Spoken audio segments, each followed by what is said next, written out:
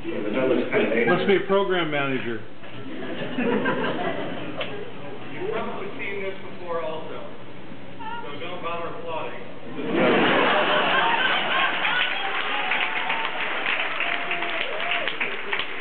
You're just feeding the monster.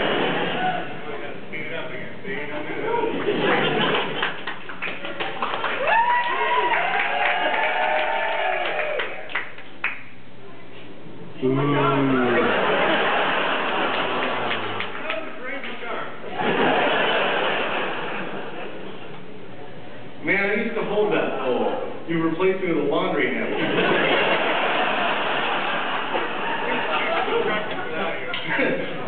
Wait, we practiced?